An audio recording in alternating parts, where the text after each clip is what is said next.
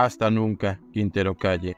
La democracia no puede reducirse al voto. Es necesario continuar organizándonos, continuar vigilando y denunciando para mantener una democracia fuerte y sólida. Por Natalia Zuluaga Rivera. Daniel Quintero abandonó su cargo de alcalde hace un mes. Lo hizo en la medianoche como quien huye apresuradamente y sale en puntillas para no ser visto por nadie después de haber dejado un desastre total en el lugar.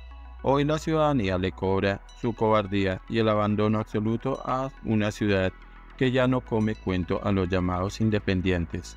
Hoy Medellín nos muestra que la política es cambiante y que existe un camino distinto. Los resultados electorales le dicen a esta administración de pasta y a los políticos tradicionales aliados con Quintero en su alcaldía que ya nos cansamos del clientelismo, del populismo y la demagogía que no estamos dispuestos a sacrificar nuestra ciudad por un puesto político o por un contrato que dura cuatro años, que esta ciudad vale más que eso, y que creemos en nuestros políticos jóvenes con ideas diferentes para ocupar esos espacios donde se toman las decisiones más importantes para la ciudad.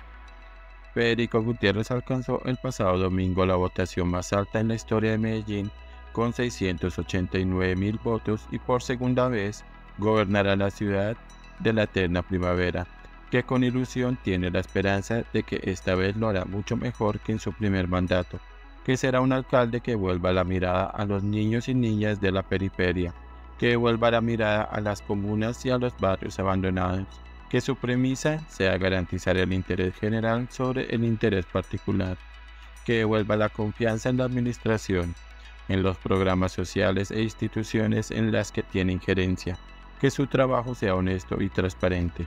El alcalde electo tendrá una responsabilidad enorme estos cuatro años, reconstruir el tejido social que se rompió con Quintero. Tendrá que reparar lo dañado y actuar con efectividad y amor para unir a través de su proyecto político una ciudad dividida. Una de sus principales prioridades será la seguridad, donde buscará a través del programa Parceros atender a niños y adolescentes entre los 10 y 28 años que estén en riesgo de ser reclutados por grupos delincuenciales. Estos programas de prevención de la delincuencia en los niños los celebro y desde ya auguro que tenga el impacto positivo esperado. El Consejo de Medellín queda con una gran mayoría fiquista, siete curules del partido Creemos, cinco del Centro Democrático, partido aliado a Federico, lo que permite desde ya inferir que sus propuestas serán aprobadas por la gran mayoría. Lo que sí se espera por parte de la ciudadanía es que se continúe con un control político serio y riguroso a la administración que llegará en enero de 2024. La democracia no puede reducirse al voto. Es necesario continuar organizándonos, continuar vigilando y denunciando para mantener una democracia fuerte y sólida. Finalmente Quintero halló su derrota en las urnas. Su candidato independiente Juan Carlos Upegui solo logró el 10,14% y una curul más para el Consejo.